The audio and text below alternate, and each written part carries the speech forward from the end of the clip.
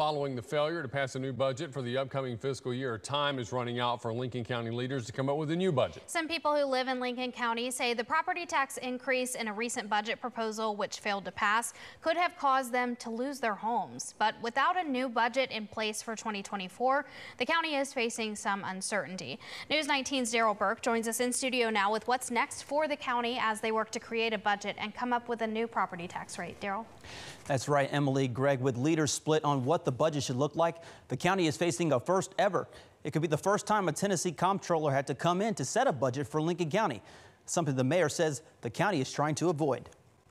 We've never gone to that point where the comptroller uh, set our budget. In a recent meeting, Lincoln County leaders failed to pass a new budget and a property tax increase for the second time in two months. The potential building of a new school, a 5% raise for county employees, and the possible usage of the remaining American Rescue Plan Act funds the county got during the pandemic are all a part of the proposed budget. Lincoln County Mayor Bill Newman says the property tax hike proposals are what has led to the resolution failing its previous two passing attempts. The problem has not been with the appropriations to the different departments. It's been the tax rate that uh, has been the problem. With the county commission scrambling to come up with the budget, Mayor Newman explained what it would mean for a state comptroller to come in and set their own budget for the county. The comptroller could set a budget and the rate could even be higher than what's proposed. It could be cut out. As the property tax remains the same for now, some residents say many within the community are living on a fixed income and the increase could have caused some people to lose their homes.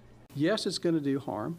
No, there's no need for a property tax increase. Several ladies have told me that, well, we can't do we can't do this. We could easily lose our home. However, Mayor Newman is confident that the county's leaders will come up with the budget and a reasonable property tax increase during their next meeting. I think when we leave that commission meeting, we'll have a balanced budget and an appropriate rate of taxes and be able to fund all those things that we proposed.